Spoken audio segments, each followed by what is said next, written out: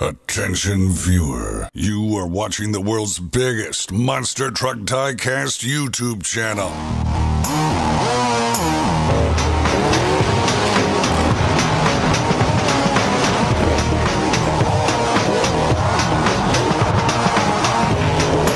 This is Monster Jam OCD. Hello everyone and welcome back to another Monster Jam OC review video. We are doing yet another Hot Wheels Monster Trucks review of Case L. This is for 2020. And I want to thank West Coast Toy Mafia and Bernie Rubber Toy Company, the associate to that company, for selling these to me before they hit store shelves. However, they have since now hit store shelves, but I'm still one of the first to review them on YouTube, if not the first one. Uh, so this is Case L for 2020, and if I must say so, this might be the strongest if not one of the strongest cases for Hot Wheels in 2020. Uh, a lot of new models here, and of course, the holy grail of this year for many collectors, especially the Bigfoot collectors, which is the 45th anniversary Bigfoot design right there in the middle of the screen. So I'm very happy with a lot of these things in this case, a lot of cool ideas, a lot of new trucks as well, and a couple that I've been looking forward to the entire year. And then we, of course, also have the tactical unit uh, monster truck in this assortment. So if we look at case L, I guess that's a perfect pivot into the case itself. We have Too S'Cool Bigfoot 45th anniversary, the 70 Dodge Charger RT, which is actually a new design with the tires and rims. We have Operation Stomp Transport. They didn't put transport here, but it is transport. The Ride Truck Edition, uh, HWSF Tactical, which is called Tactical Unit. Will Trash It All, uh, the Oscar Mayer Wienermobile, and the 18 Chevy Camaro SS. I will bring this up in just a moment. We're going to go through it one more time, and these two as well. We're going to look back at these. But of course, the new ones in this case are these five. So five is a pretty large amount, and we have a couple of trucks that are actually repeat that are some of the best of the year. So I'm actually really happy with the case in general. The only one I'm not happy with is, of course, my least favorite Hot Wheels truck in general of Monster Jam and Hot Wheels Monster Trucks of all time. It is the uh, Chevy Camaro SS, 18 Chevy Camaro SS. As you can see, and I've mentioned this many times uh, before in my previous videos of this truck, uh, the proportions and the sizing and the way it's lifted so high up off the chassis, it's just not my favorite at all. Uh, it's actually my least favorite truck that they produce. So uh, the Camaro, it's, it's unfortunate to see it coming back so many times with the same body as well. So this is the Camaro repeat. This is the orange design, uh, and I've had my opinions, and I will continue to express that opinion of this uh, truck and casting uh, as time goes on. So there's the repeat of that. And then we actually have two repeats of some of the best, if not the two best of the year. Uh, one that's definitely my favorite of the entire year, which is the Oscar Mayer Wienermobile Monster Truck. I've expressed that opinion in that review of the Oscar Mayer Wienermobile. I believe it was case G or sometime back in the past now. Uh, this is on my display case, actually. That's how much I like that. And also this one, which they just released as well, which is Will Trash It All, the Trash Truck Monster Truck uh, something I really enjoy, which is uh, something I've also expressed to Monster Jam and their team for years now to make. Uh, so I'm very happy with Hot Wheels and the fact that it functions by opening up in the back. They repeated this in this case as well. Uh, so these are two of the best of the year, plus the 45th anniversary Bigfoot in this case, and the school bus. So they really nailed it home with this assortment. They very rarely do that. So I'm giving them all the credit for that. Congratulations, Hot Wheels. Some credit is due, and they did a great case assortment here. So these two are awesome. I love the Oscar Mayer, I love the trash truck, and I love this Bigfoot and the school bus. They also snuck in a ride truck into this case, which adds a lot of pizzazz, obviously, with the ride trucks being the big thing now. So the ride trucks, um, Operation Stomp Transport, I like the colors. I like it actually better than Haul Y'all's colors, if I must be honest. Um, and then, of course, we have this new Dodge Charger with these weird uh, tires, but they're also pretty interesting. And then we have that one tactical unit, which I actually don't dislike, uh, which is actually pretty cool. So we'll start with that tactical unit since it's kind of the lesser of the case. If we have to call one the lesser, it is tactical unit but it's still pretty cool. So here is the trophy truck tactical unit. It is number five of five of the Stealth Smashers series. We also had the HWSF Hot Wheels Special Forces, this dairy delivery casting, and it was the 3D raised graphics with the red stripes. So it's kind of like a blackout, but it had red detailing, which is my favorite of this series, this little sub-series, Stealth Smashers. So it's a very awesome truck. I hope they do more of these in the future. And now we have this Hot Wheels Special Forces tactical unit on this trophy truck. And on the back here, you can see the stats, which is HWSF Tactical. The truck type is pickup, the strength is hauls it all, the crash tech is cargo crunch, and the motivation is to deliver smashes daily. So there it is. Let's unbox it right now. And here it is, the brand new HWSF tactical unit. And as you can see, it comes with a green crushed van, and there's the logo, number 72 of 75 for this year. We're almost finished. And if we look here, they actually have the raised graphics on this truck as well, which is actually really awesome. It also has yellow raised graphics in the mix there. So there's the roof there, it has some stripes, a stripe of yellow, HWSF. The side here has the badge of the HWSF crew. The Monster Trucks logo in yellow, Tactical Unit, HWSF there, and Hot Wheels logo. The front grille is painted in yellow. The hood here with the badge, the logo, Hot Wheels logo obviously, Tactical Unit, and a yellow windshield. This side is the same. And the tailgate here has Tactical Unit with a kind of like a square around everything with stripes. The badge again in the Hot Wheels logo. Then it has black rims with a yellow beadlock, black, um, actually charcoal chrome chassis, uh, which is unusual, but they have done that before. I believe it was in the last case that they did this. And then it has a black roll cage. I really do enjoy this color of the charcoal chrome chassis. So that's awesome. This is the tactical unit for this case. Again, raised graphics, which is also a nice touch. So there's that one. And then we have this interesting looking Dodge Charger RT, which is a design we have seen before. They call it the General Lee design. Obviously, it's not a General Lee, but is based off of those colors and the style of its graphics. Uh, it does have zoomies, so let's check it out. This is a licensed truck by Hot Wheels and Dodge, which is actually pretty cool. So let's unbox that. There's the stats, by the way, the same as the normal one, if you want to read them. And here we go. So this is quite an interesting truck, um, and it comes with the yellow crush van, but this is definitely an interesting truck. It is, um, it's just interesting. I really have nothing else to say besides the fact that it is interesting. It reminds me a lot of the Track Ace trucks when they had those in Hot Wheels Monster Jam. They were not very popular, but this is way different than that. They're just very uh, similar style series, I think because it breaks away from the monster truck style tires. But if you look at these two compared, uh, the height difference is a little obvious um, with this one pointing straight down. The tire sizing is way different as well. Uh, I'm not sure if these are, oh, these are the same height, but these ones definitely aren't. Um, and the rims are a new casting. You can see the rims are these nice spinner style rims. The Hot Wheels logo on the tires is actually a throwback to the original Hot Wheels logo, which is actually pretty cool since they're doing like a retro style tire. I guess they would consider this to be. And then the same thing on the back here. And uh, these are actually rubber. These are not plastic tires. These are rubber tires, uh, which is interesting.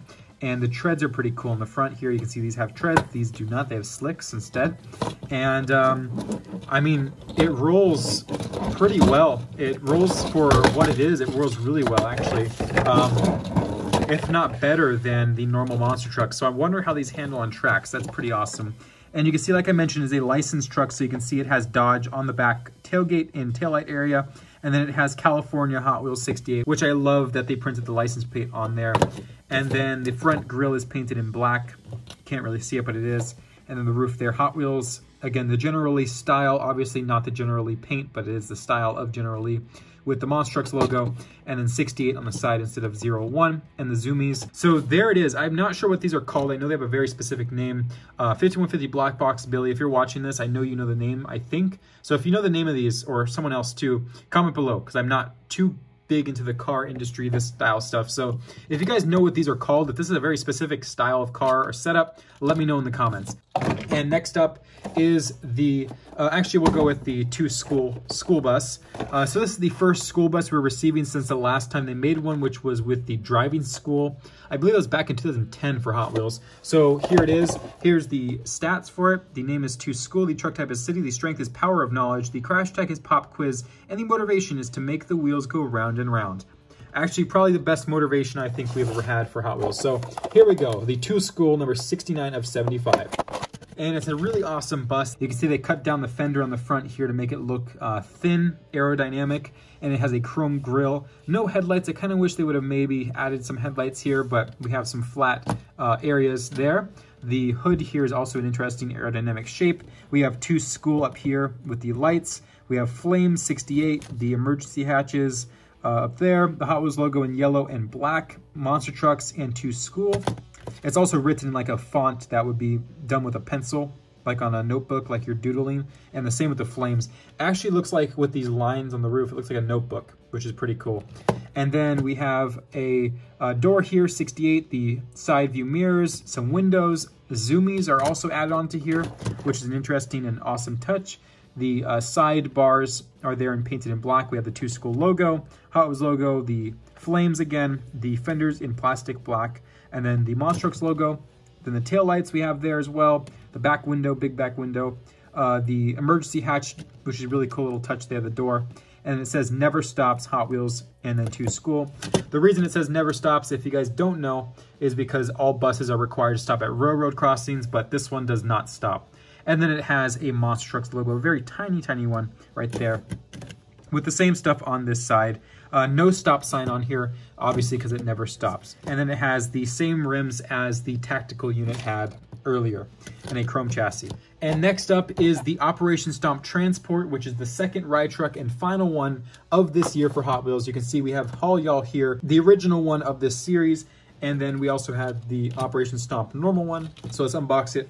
Actually, I believe the stats are the same. Yes, the stats are the same, so there's the back. And let's unbox it right now.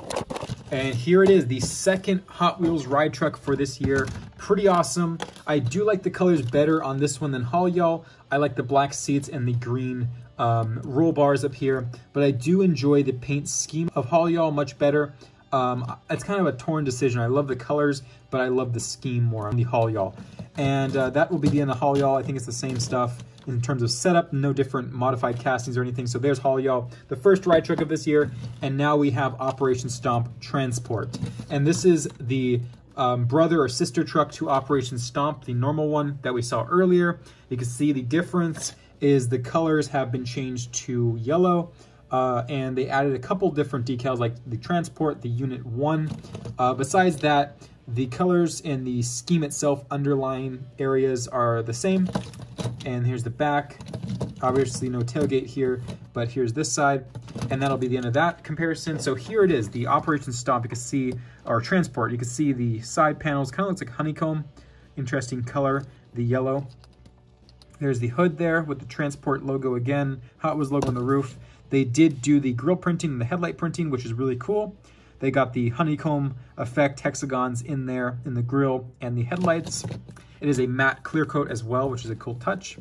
And then it has a green windshield, a green roll bar, black seats, and a green roll cage, black chassis, black rims, and yellow beadlocks. It's actually the same as the last three trucks we looked at, same rim style. So that's pretty interesting.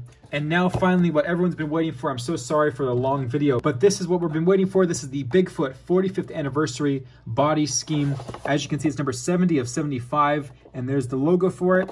And the back of the box is the same stats as a normal Bigfoot would have. So if you guys are wondering, it is the same. And uh, we're gonna unbox it right now. We're also gonna show you guys or compare it to the other Bigfoots of the past. But for right now, we're saying goodbye to this packaging and opening up number 10 of 10 of Stunt Storm. And that is a nice piece. Here it is, the Bigfoot 45. There's the car it comes with. There's the logo one more time. And here is the truck. So Bigfoot 45, this is not a real life scheme. I don't believe that they're going to use. Um, with COVID, it's unlikely that there's going to be a show that they debut this at. Uh, so there is that scheme. If it was a custom concept, I'm not sure. If it was a Hot Wheels design one, I don't know. But regardless, it's still an awesome truck. We have seen this casting a couple times with Hot Wheels now. Obviously, in the original Bigfoot, which is Bigfoot number one. This is the original casting that they used for this body. And then we had the Bigfoot number eight, the Target exclusive edition with these stripes. I think it's called the Racer Stripe body. So there's the Bigfoot number eight design. And then we have this one, which is the last edition of 164 scale. And for this year, we also have in 124 scale, the Power Wheels Bigfoot, which I will be reviewing soon on my channel. Uh, so they have used this body four different times in the Hot Wheels line three different times in 164 scale specifically. And we also had the other three Bigfoots, which were the uh, Target exclusive 2020, the Stars and Stripes Bigfoot. We just reviewed this one on my channel, which is the Charlie's Angels Bigfoot. I'll tag this video at the end of this one. And then we had the normal circuit running Bigfoot with the front grille and all that. So that is the sixth 164 scale Bigfoot of this year. And here's the paint scheme. The funny thing is they actually did a chrome design Uh, and when they do chrome with Hot Wheels, they actually do a bare metal body, and then they print on the decals in transparent color. So they have a transparent chrome blue because you can see the bare metal here. Uh, like they did their Hot Wheels split paint job back in Monster Jam days, they did a clear blue decal to make it chrome reflective. Um, the only problem with that is that sometimes the logos become a little transparent. The Hot Wheels logo is transparent, reflective. It also has a little bit of blue because of the bleed, but that's okay. You can see it has Summit Racing Equipment, a little cut off, and then we have the 45th anniversary logo, the Firestone and Bigfoot 4x4x4 uh, with the white printing. So they covered up the front here with white. Uh, the one thing I don't like about this truck is that the Bigfoot logo is too small on the sides. I feel like they could have made it bigger maybe here on the fender uh, because the Summit logo feels bigger than this and it makes it feel like the Summit logo is the main point. Uh, but the Bigfoot should be the bigger part. So they could have remodified some of this, but there's the Bigfoot logo there. Here's the other side. Uh, in comparison, the Summit logo gets really cut off. I don't like that. Um, actually, severely cut off. But there's this side, Bigfoot, Firestone, 45th anniversary, Hot Wheels logo, Monster Trucks. The back here has this cool little lightning bolt, and then it has 45th anniversary Bigfoot. On the tailgate, there's that chrome color, so you can see it better. And then the top here is printed in blue. Uh, there's that, the 45th anniversary on the roof logo. And then the hood actually has a big Bigfoot logo, which is pretty nice. And it has a blue stripe instead of a white one with the lightning bolt style. And then it has all their sponsors one more time in this little corner. Um, and then the uh, engine there. And then we have a blue printed grill with printed in headlights for the first time ever for this Bigfoot 164 scale. The previous two did not have that feature. So there are the headlights in this special edition of Bigfoot. And uh, it has a blue uh, baby blue windshield. And then we have some uh, transparent, uh, actually I would say translucent pearl white rims. And then on the back here we have uh, more transparent dark blue rims with the normal tires, chrome chassis, and black roll cage. So there it is, the 45th anniversary Bigfoot and the completion of the Case L assortment. I believe we only have a couple more cases of this stuff for this year because we're almost done. I think the highest number we have in this case is 72 out of 75. So we're really pushing the edge of the Hot Wheels year, uh, which means we're going to start the new year for 2021 Hot Wheels very soon. So that has been Case L. Again, thank you to West Coast Toy Mafia for supplying these for review. I really appreciate uh, Katie and Paul at both Bernie River Toy Company and uh, the West Coast Toy Mafia uh, companies for helping me out getting these earlier than I would find them in my stores if I ever did. I don't really see many Hot Wheels in my stores. Uh, same goes for Spin Master. So my stores aren't very good at restocking that stuff.